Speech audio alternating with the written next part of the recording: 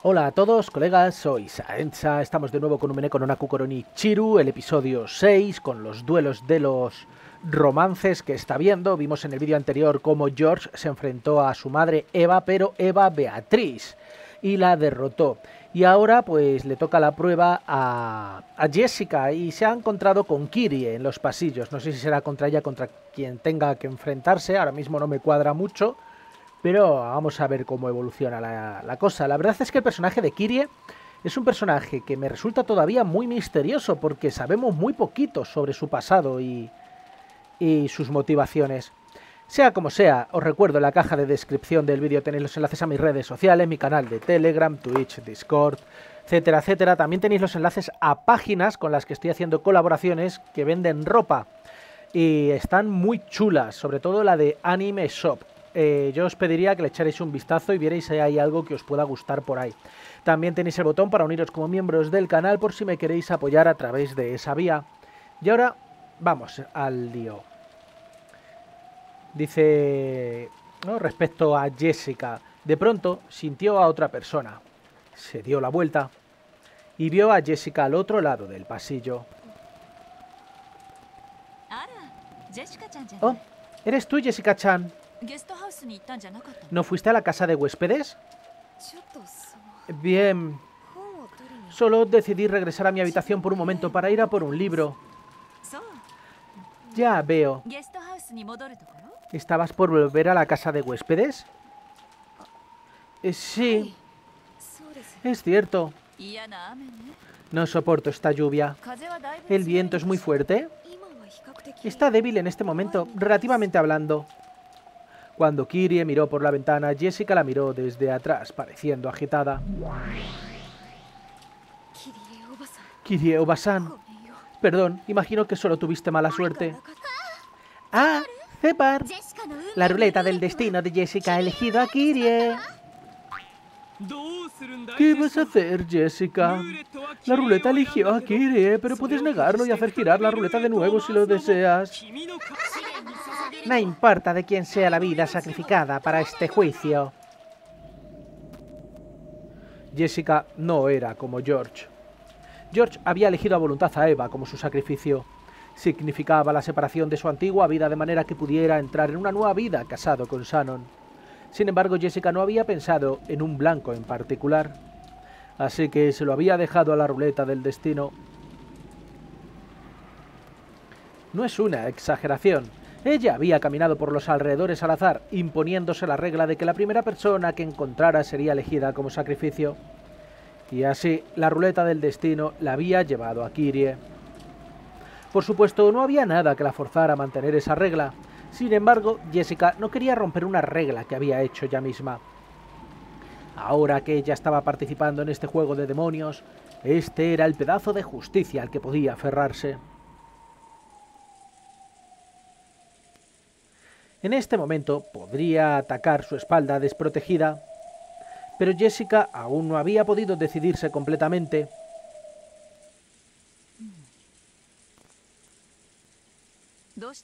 ¿Qué pasa? ¿Hay algo que quieras decirme? Al notar el extraño silencio de Jessica, quería se dio vuelta. Su espalda ya no se encontraba desprotegida. Jessica se dio cuenta que sus dudas le habían costado su primera oportunidad. No debe.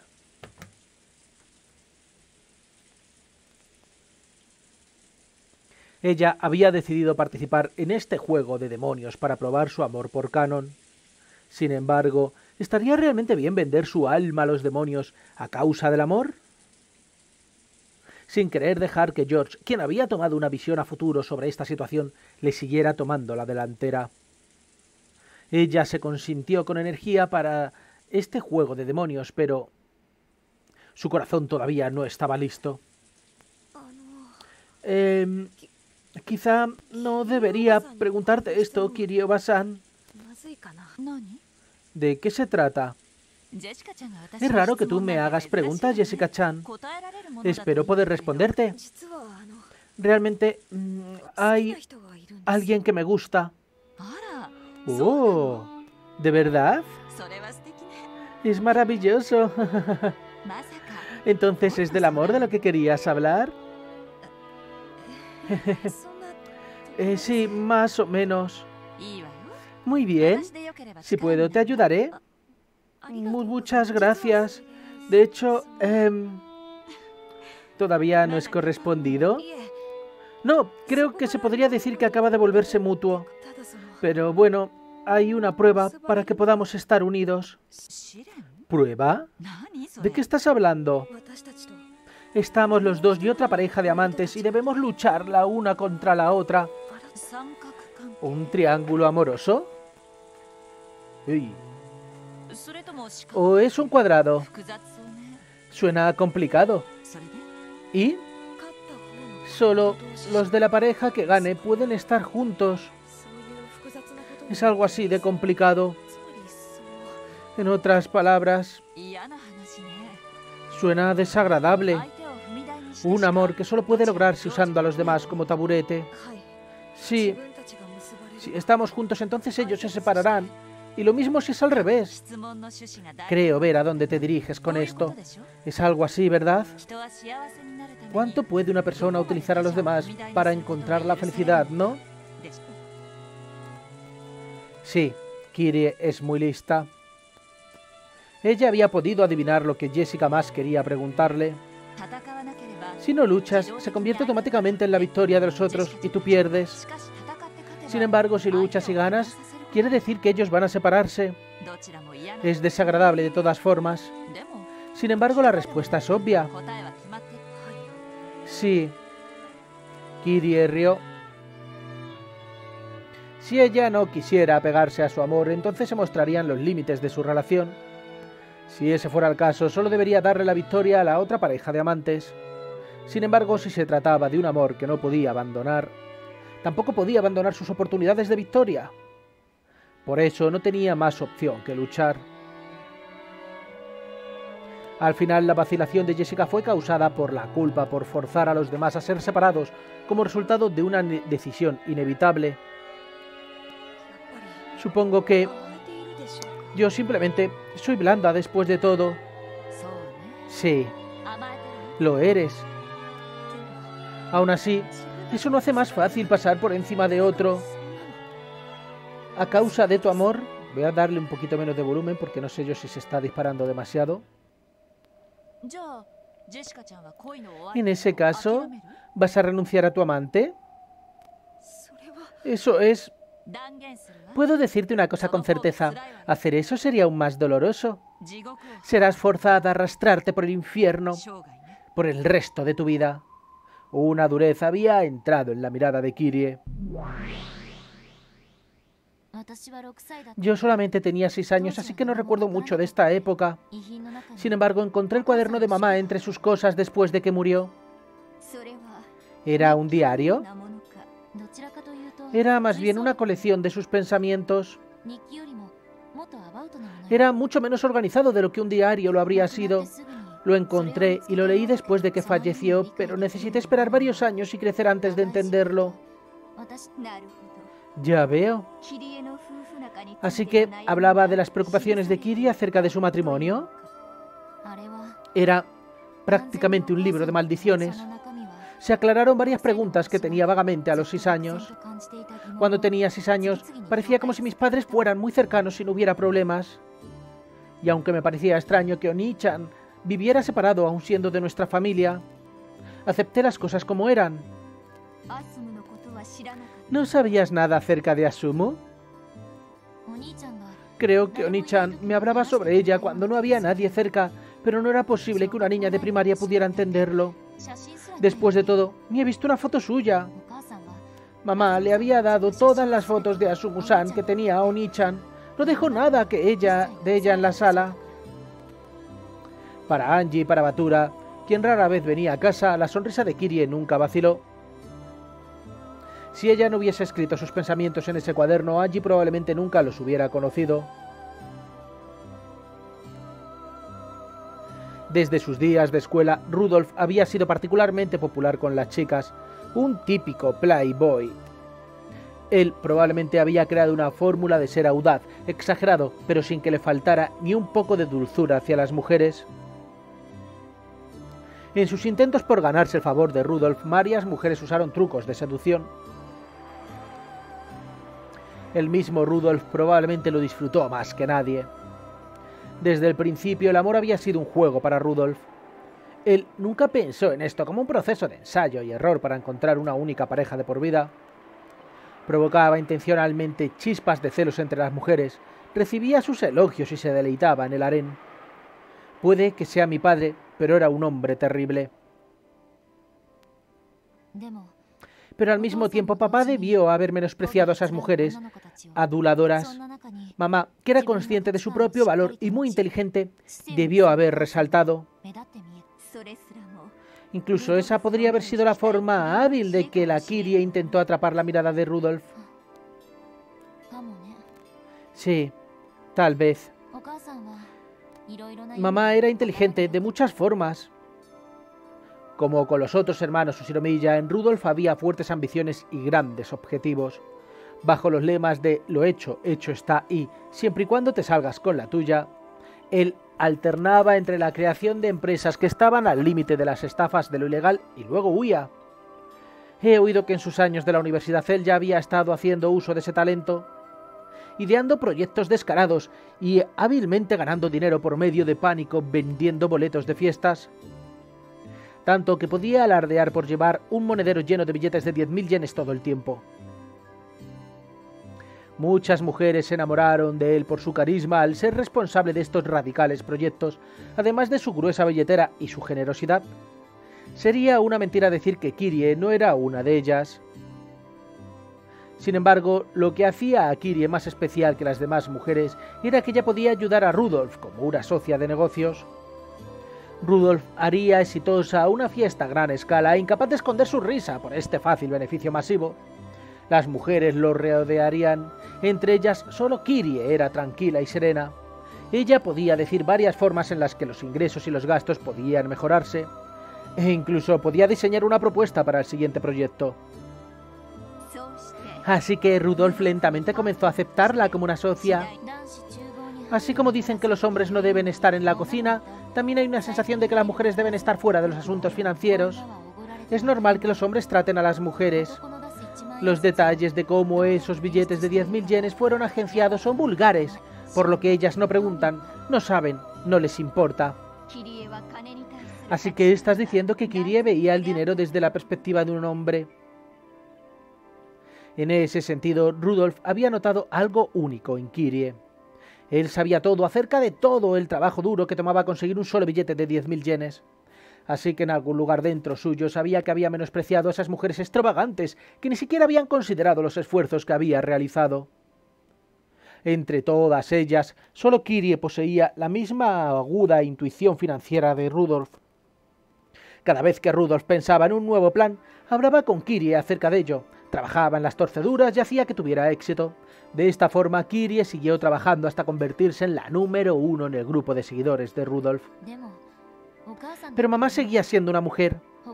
Dudo que le gustara ver a papá siendo mimado por todas las otras chicas.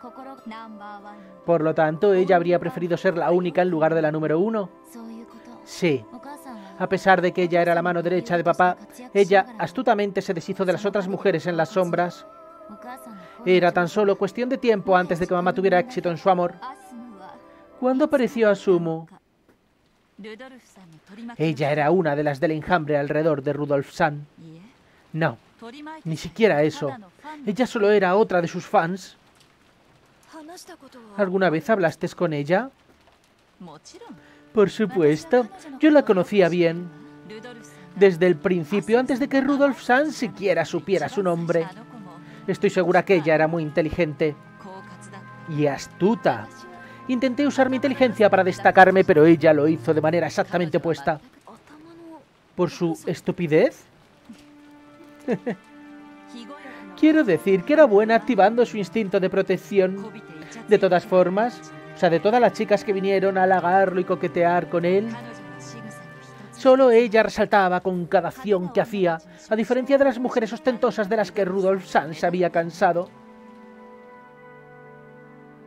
Kirie todavía reconoce el error que cometió al dejar que Asumu y Rudolf se acercaran demasiado. Kirie había pensado que tenía a Rudolf para ella sola al tomar el rol de su socio de negocios.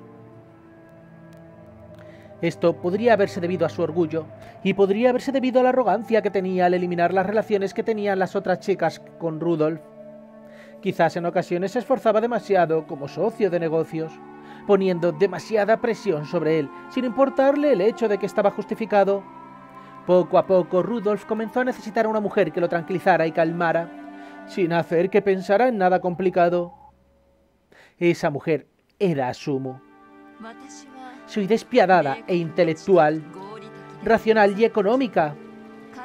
En la situación en la que habla de, de carneades, empujaría a la otra persona sin vacilar. Pensaba que era el tipo de socio adecuado para él. Sin embargo, aunque esa crueldad le había hecho confiable en el lado de los negocios, puede que haya perturbado profundamente a Rudolf fuera de los negocios. Aunque Rudolf aún reconocía las habilidades de Kirie, comenzó a anhelar una tranquila, cálida aceptación. Asumu satisfacía todas esas condiciones. Ella nunca hablaba acerca de nada complicado. Ella acababa sacudiendo su cabeza para decir que no sabía. Sin embargo, ella se preocupaba más por él físicamente que cualquier otra persona, silenciosamente poniendo una sábana sobre él y permaneciendo a su lado hasta la mañana. Sí, yo conseguí la posición de su socio de negocios. Pero antes de que lo supiera, en Rudolf San había crecido la necesidad de un socio mental, alguien que pudiera curar su corazón. Aunque yo estúpidamente afirmaba ser alguien intelectual, nunca lo noté. Y entonces, Rudolf Ojisan se casó con Asumus Obasan. Sí, correcto. Ella me lo robó. Algún día tendremos que ver a Sumu, ¿eh? Él se había acostado con un montón de mujeres. A esa altura, él no era el tipo de persona que dejaba que sus emociones fueran capturadas por las mujeres solo por acostarse con ellas. Después de todo, dormir con mujeres era solo un juego para él. Es por eso que usé algo más que mi cuerpo para captar su atención.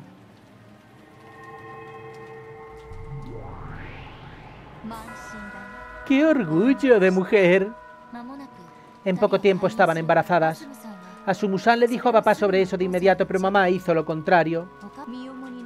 Así que tenía miedo de que el embarazo pudiera, pusiera en riesgo su posición como su socio de negocios. Al parecer mamá no comía mucho en ese tiempo, por lo que su menstruación era irregular. Por eso le tomó un tiempo realmente largo para darse cuenta de que estaba embarazada. ¿Cuándo se dio cuenta? Luego de que Asumu-san se trasladara al registro familiar de papá, mamá se enteró del embarazo luego de eso y trató de separar a Asumu-san y a papá varias veces, pero... Aunque Asumu-san siempre actuó como una cabeza hueca, una vez que puso sus manos sobre Rudolf-san, no lo dejó ir. ¿Tienes algún problema con esto? Por favor, quédate fuera de nuestro camino, decía ella. Y eso venía de la pequeña niña que se acurrucaba como una bola cuando estaba en un autobús. En ese momento me di cuenta. Ella había sido realmente la astuta. Sí, incluso su miedo a los vehículos era otra mentira para atrapar la simpatía de Rudolf San.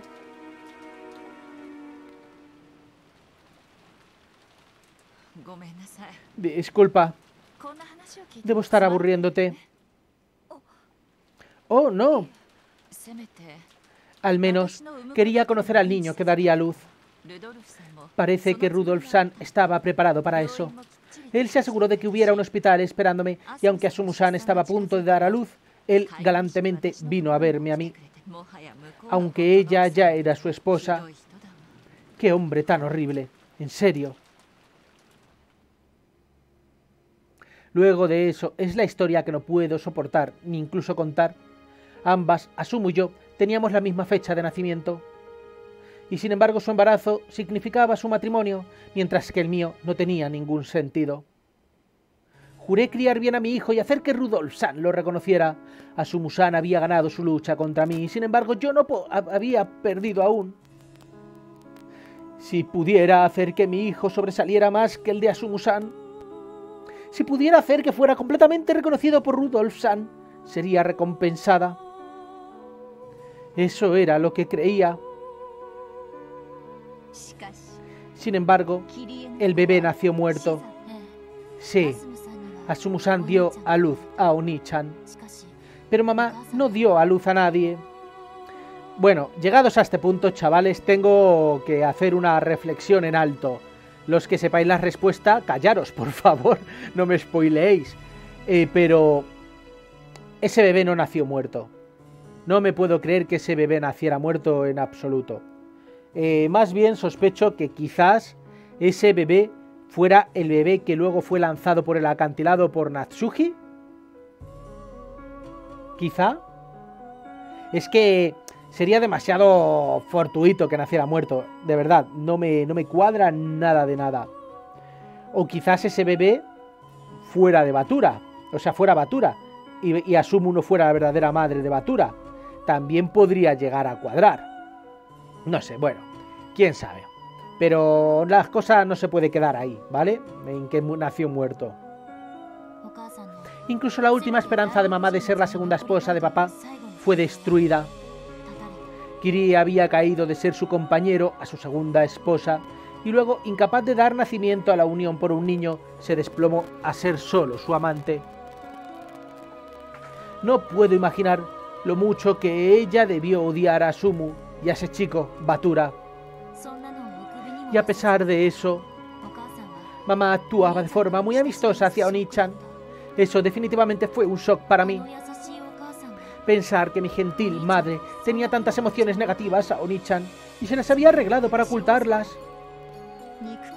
Ella debía despreciar a Batura. Probablemente, si Asumu hubiera dado a luz a un niño muerto y Kiri a Onichan, la historia podría haber sido de otra manera. Al parecer pensó que si eso pasaba, papá se divorciaría de Asumu-san y se él y se casaría con ella en su lugar. ¿Estaba eso también escrito en ese libro, donde ella mantenía sus pensamientos? Sí, después de todo, era solo un pensamiento cualquiera, un delirio. El resentimiento de mamá al morder la punta de sus sábanas llenas de lágrimas.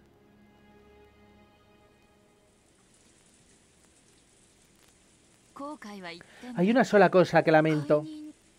¿Quieres decir el embarazo? No, no. Es mi arrogancia lo que lamento. Rudolf-san ya es mío, así que estoy completamente segura. Nunca voy a perder contra Sumo. Cuando ella gritaba en autobuses y aviones, yo podía controlar apropiadamente los arreglos y gastos para ellos. Y así era demasiado confiada en que yo era la de mayor confianza para Rudolf. Dicen que el amor necesita ser nutrido, ¿verdad? Eh, sí. Eso no es incorrecto. Ambos necesitan regarlo, cuidarlo y nutrirlo. Y al final, eso da el fruto llamado amor. ¿Lo sabías? No acaba cuando da fruto. Si no se cosecha ese amor, este nunca será notado. ¿Cosecha? Necesitas pensar eso tú misma, Jessica Chan. Si se da el fruto sin cosecharlo, a veces se pudre. Y se reúnen bichos a su alrededor. De hecho, a veces vienen ladrones y lo quitan de la rama. Niñas jóvenes como tú, Jessica Chan, creen que el amor termina con el crecimiento. Eso es ingenuo. Si no lo cosechas, nunca serás recompensada por tu amor. Cosechar amor. A simple vista, parece ser el asunto de una pareja de amantes. Pero eso no es verdad. Dejar afuera la cosecha debido a que crees que puedes hacerlo en cualquier momento solo le da una oportunidad a los ladrones. ¿Qué pasaría si la fruta que has cuidado con tanto trabajo duro fuera arrancada la mañana siguiente? Tú lamentarías el no haber elegido cosecharla el día anterior en vez de quejarte. Ese lamento realmente duele. Eso te hará arrastrarte por el infierno. Tuve suerte. Infierno terminó tras 18 años, así que nunca me equivocaré de nuevo. Esta persona es mía. Ya no la dejaré escapar. No saldrá de mi vista. Y estoy agradecida a mi ama por darme una oportunidad. mi certeza, mi certera fuerza de voluntad en no renunciar al hombre sin importar que fue respondida con un milagro. Ahora Jessica estaba sin palabras y ni siquiera sentía la cabeza. Esta verdadera forma del amor que Kirie le estaba contando era mucho más dura de lo que había imaginado. Ahora mismo haría lo que sea para mantener a Rudolf san a mi lado.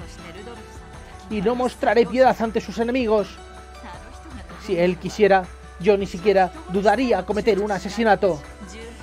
Porque finalmente gané esta determinación en el año 18. Ese poder certero produjo un milagro para mí. Ya sabes, los milagros solo...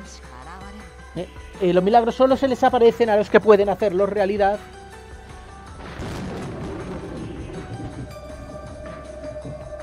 La muerte de Asumu no había sido un asesinato de ningún tipo. Sin embargo, Kiria con frecuencia la maldecía y deseaba que muriese. Y finalmente, en el año 18, ella había construido la determinación para matarla con sus propias manos. Y entonces, ella realmente consiguió un cuchillo para hacerlo. Entonces, el milagro ocurrió. Asumu-san falleció. Fue un milagro. No realmente. Eso ni siquiera estaba cerca de ser un milagro. ¿Eh? Después de todo, si ella no hubiese muerto, yo la habría matado. Bueno, qué rebuscada, ¿no? En otras palabras, ella iba a morir sin importar lo que pasara. Aunque ella murió, o sea, el milagro es este, aunque ella murió, no tuve que ensuciarme las manos. Eso es todo. Hasta ahora Kirie nunca le había mostrado a Jessica, no, ella nunca se lo había mostrado a Rudolf, ese brillo en lo profundo de sus ojos. Ella dijo con sencillez y claramente que el romance y el amor no son los dulces y esponjosos caramelos que las chicas imaginan que son. Jessica estaba abrumada por la presión y se había quedado boquiabierta. Y tuvo que reconocerlo, esta era la fuerza de voluntad que haría el amor realidad. Con el poder de su fuerza de voluntad, Kirie había apoyado a Rudolf como su esposa.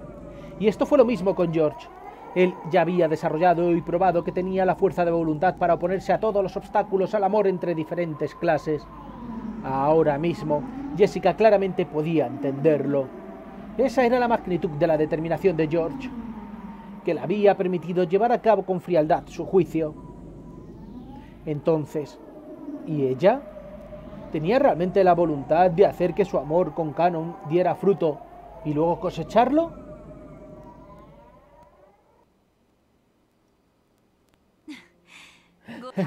Lo siento, probablemente querías un pequeño consejo y te ha asustado. Culpa al clima. Solo quería presionarte un poco, pero me pasé. Kirie dejó que una sonrisa relajada se mostrara en su cara. La tensa atmósfera finalmente disminuyó. Sin embargo, sus palabras habían penetrado el corazón de Jessica. No sé cómo ha sido tu amor, Jessica-chan, pero si tienes un rival, ninguno está dispuesto a echarse atrás. No puedes dejarte volverte autocomplacente. Si lo haces, acabarás como yo. Por el bien del amor, una mujer debe estar dispuesta a matar al menos una vez en su vida. Puedo decir que todas las mujeres en el mundo que se hacen llamar madres han pasado por esto. Después de todo, las mujeres que no le están serán hechas trizas por los demás y serán obligadas a arrastrarse en un infierno de envidia y lamentarlo por el resto de su vida. Mi infierno terminó en 18 años. Tuve suerte de ser perdonada después de solo 18 años. Este infierno está lleno de mujeres quienes nunca saldrán hasta que mueran a menos que ellas mismas se quiten la vida en su lamento. ¿Cómo decirlo? No tengo nada que decir. Estaba tratando de impulsarte, pero creo que me pasé y te amenacé demasiado. De verdad, lo siento. El amor puede ser mucho más fácil que eso, ¿sí? El amor realmente es como jugar con fuego. Cualquiera puede jugar con facilidad y alegría, pero cuando te equivocas y te quemas, la cicatriz no puede quedar contigo para toda la vida. Los lamentos en el amor nunca desaparecerán. Eso era todo lo que Kiria estaba tratando de comunicar. A Kirie no le gustaba contar su historia, normalmente la evitaba, en lugar de decirlo directamente. Sin embargo, puede que Kirie tuviera la sensación de que Jessica merecía oírlo. Jessica había mencionado tímidamente el tema del amor. Quizás Kirie se abrió y le contó todo porque había visto el fuego de la determinación de Jessica en sus ojos.